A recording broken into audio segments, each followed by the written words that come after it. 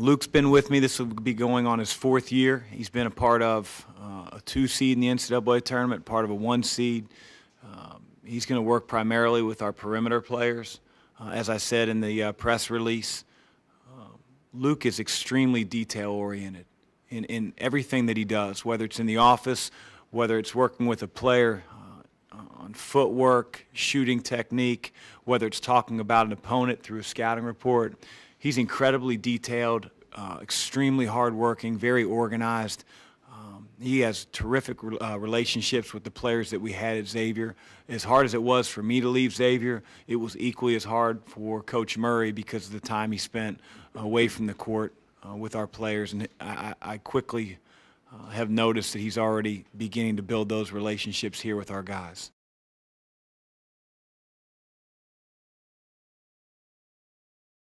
You know, Mike, he played at DeMatha High School for Mike Brey. I'm sorry, for Morgan Wooten. And um, Coach Wooten is, is the greatest high school basketball coach uh, to ever coach. He's the winningest coach of all time. He coached uh, a million NBA players and college All-Americans. As I told Mike, he wasn't one of them, but he was still on DeMatha's team. But he was schooled in fundamentals. He then went to Delaware, became their all-time leading scorer in school history. He played both the four and an undersized five. Mike has a gift. He has a gift for teaching the game of basketball, specifically to post players uh, and guys that do the, the, majority of their work on the interior. Uh, he's going to be a godsend for, for guys like Malik Williams, uh, Steven Enoch, uh, all of our, our bigger guys, even if they're not true back to the basket players. Um, I'm really fortunate that, that Mike's been with me now. This will be his seventh year. Um, and the development that he's had, the, the players that he's had under his tutelage over the years, whether it's a James Farr from Xavier, who played 70 minutes his entire freshman year, 70 minutes. His senior year, he was second in the, in the Big East in rebounding behind Angel Delgado. Says a lot. Um, Matt Stainbrook, guy went from 300 pounds that was basically kicked off a team in the MAC conference at Western Michigan. Uh, Mike got him with the help of our strength coach at the time down to 250 pounds, and it was us or Wright State for Matt Stainbrook, and Matt became an All Big East caliber player uh, and one of the best post passers I've ever played or ever coached. So the, the development that our big guys are going to get is going to be through the roof.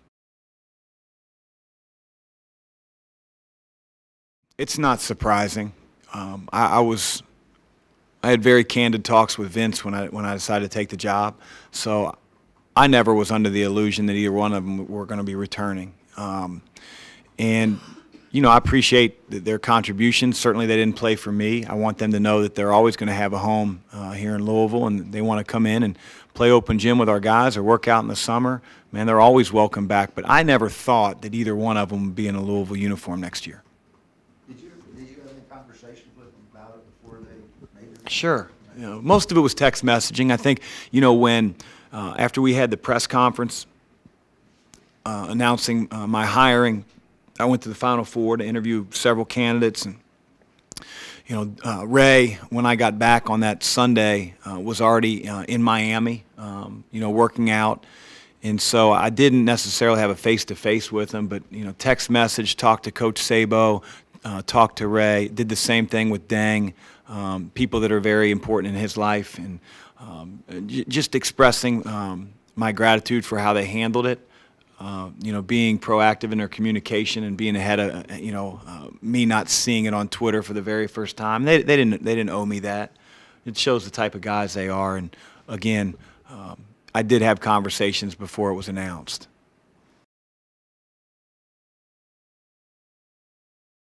Uh, as you look at our team, you say, well, Okay, Coach Pitino had Anfernee Simons and Courtney Ramey um, coming to Louisville.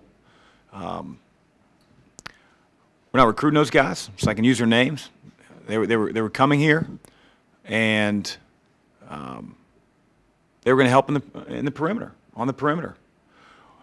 So what an opportunity for a fifth-year transfer to come in and, and, and be able to play in the backcourt which is where they identified the help needed.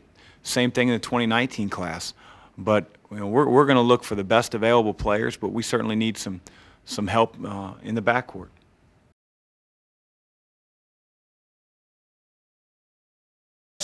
Like with Chris Mack, I'm turning over my career and my family and putting it in Chris Mack's hands because I trust him. Because I trust him. And, and I think that's big. So that, that was a big reason why. It had to be somebody I could trust with my career and with my family's future.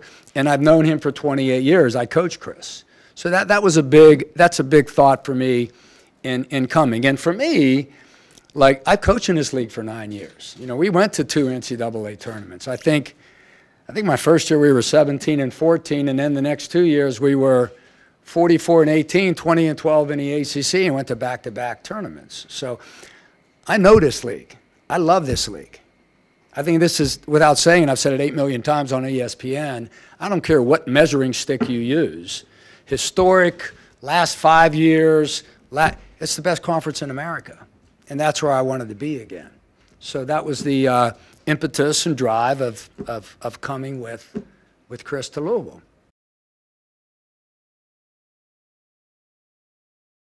I believe in, in Coach Mack and Chris Mack and his methodology and how he goes about things and the energy that he brings every day. To see a guy at nearly 50, don't tell him I said that, have more energy than 18 and 19 year old kids on an everyday basis in everything that we do, it's phenomenal to watch. He's ever teaching. So even when he's beet red and he's intense and he's getting after guys, he's ever teaching, which is huge because I've been around some of the greater teachers in this game, and Morgan Wooten and Mike Brey. I believe in what he does, and that's why I'm here.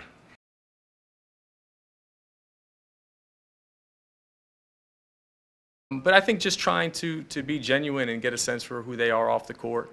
Um, we have kind of a, a somewhat of an understanding of who they are as players, just having watched them play in the summertime with their AAU teams or during the high school season, and certainly, you know, on ESPN over the last couple of years. But um, I think for myself and for Dino and, and Mike, and, and I'm sure Coach Mack as well, although I don't want to speak for him, it's been more about trying to get a sense for who these guys are off the court and spend some time with them around the dorm or here in the Yum Center and, and really just kind of strengthen those bonds as best we can, although it's been, you know, only a week or two. Did you feel like you needed to recruit to stay? I'm sorry? Did you feel like you needed to recruit them to, to stay? recruit them to stay? Um, no, I mean, I think for the most part, these guys are really excited about um, what lies ahead, you know, and, and being coached by Chris Mack, I think is something that was very appealing to those guys. Uh, we started to get that sense right around the time of the press conference that, that the kids were excited about um, what the future holds. And, uh, yeah, I know there were one or two guys that were maybe somewhat unsure, but um, I think they were pretty quick to come on board.